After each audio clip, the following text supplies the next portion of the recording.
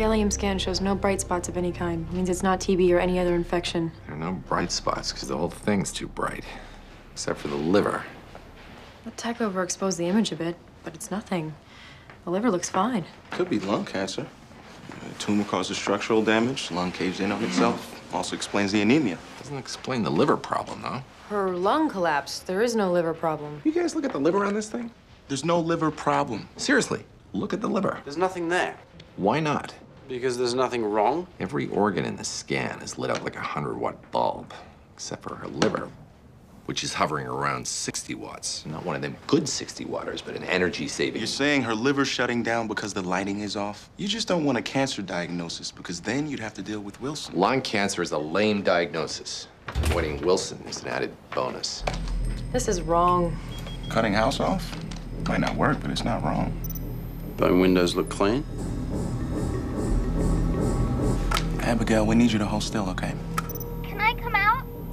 Just hang in there two more minutes and we'll be done. Okay. Because it's effective doesn't make it right. Cuddy's bending the rules to get a patient to do the right thing. Who'd work for a doctor like that? And the ends justify the means? The ends involve us keeping our jobs, sure.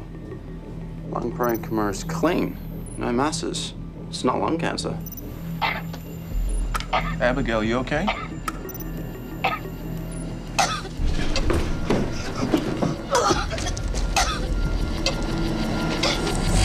House was right. Her liver's failing.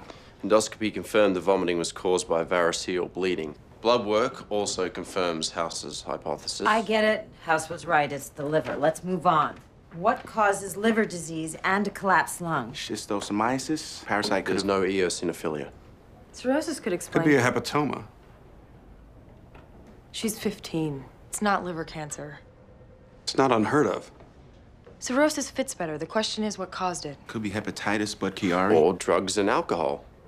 If anyone has a reason to dull the pain, it's a teenage dwarf. I'll do a liver biopsy to confirm. And I'll search the patient's home for drugs and alcohol. You were right about the liver failure. Patient had variceal bleeding, which suggested cirrhosis, but... Off the clock. You predicted this. You obviously saw something. Obviously. Liver biopsy was negative for cirrhosis, but it shows sclerosing cholangitis. Even weirder, there's no increase in alkaline phosphatase. Hmm. Medical mystery. Sounds like the kind of thing I'd be good at. Forget about the specific nature of the liver dysfunction. It's irrelevant. Dwarf's problem is global. That's why the gallium scan was bright. It's going to spread throughout her entire body unless you stop it. If that were true, more than the lungs and liver would be affected. It will be. It'll spread through the biliary tree and hit her pancreas next. Stop retracing your steps. Get ahead of it. Forget the liver and focus on the pancreas. Because after that, actually, after that, it doesn't really matter what it hits because pretty much all roads lead to a dead dwarf. That tube is going all the way down to my liver. Don't worry, you'll be sedated. Sometimes doctors have to do things that make people uncomfortable to help them. But we always want to respect the patient's wishes and not shove things down their throats. Foreman. You haven't given her the sedative. No. Abigail? Abigail? She's unconscious. Check her airway. Airway's clear. Her breath smells fruity. Diabetic ketoacidosis. Hang an insulin drip at 0.1 mg per kick per hour. Pancreas is failing. You ready to call house yet? Because of your daughter's dwarfism, we've had to pick a higher entry point for the lumbar puncture, which increases the risk. So why not do the lupus test first? In the interest of time, we think it's best to proceed on both fronts. You have no idea what's wrong with my daughter. We have several theories. What does Dr. House think? He's he had to go home sick. My daughter may be dying and he's gone home with the sniffles? Well, he's not. He was the only one who seemed to have any idea what was wrong with her. He better be really damn sick. He is. Dr. Cameron, come quick. There's something wrong with Abby. Couldn't be too severe. Her cardiac alarm didn't go off. It's not her heart. She's bleeding. Nice bear. It's a dog. House. It's not Still's. Steroids helped until the patient started bleeding from the ears and mouth. It's a bear. His name is Bill. He's a dog. You win. You can have Vicodin. Words have set meanings for a reason. If you see an animal like Bill and you try to play fetch, Bill's gonna eat you because Bill's a bear. Are you on something? You got your hands on pain meds. Bill has fur, four legs, and a collar. He's a dog. It's between cancer and autoimmune. See, that's what we call a faulty syllogism.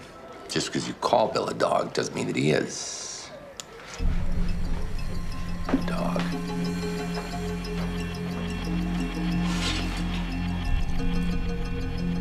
We gotta x-ray our patient's leg. Her leg looks fine. Weird, huh? Why aren't you detoxing?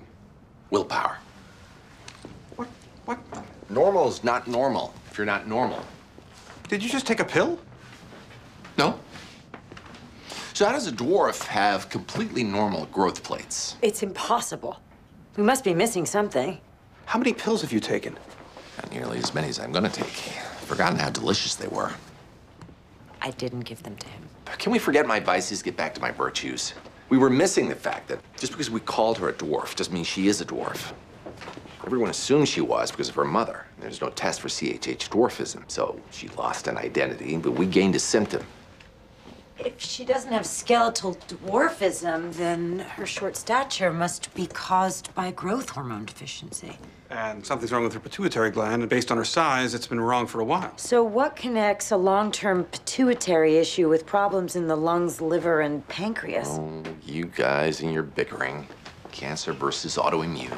Obviously, you think it's something else. Nope. I think it's both. Langerhans cell histiocytosis, also known as you got your cancer in my autoimmune disease. The immune component responded to the Still's treatment, led to the short-term improvement. The cancer portion didn't. We dismissed this earlier because there were no neurological symptoms. Yeah, it's not your fault. The only neurological symptom was her height. Who could have noticed? This is your pituitary gland. This is the granuloma that's been crushing it. No pituitary equals no growth hormone equals not that much. She's not a dwarf. Just hormonally challenged. What about my mom? Your mom's the real deal. You're just a tiny little poser. Your recent ear infections caused your body to release a cascade of the same cells that made the granuloma. It attacked your lungs, moved down to your liver, then hitched a right over to your pancreas. We can nuke them with a mild course of chemo and then remove the granuloma. And then what? What will happen to her then? Let me see if I can make this clear. This pill represents a pill, and my mouth represents your daughter's mouth. We deposit the pill in the mouth.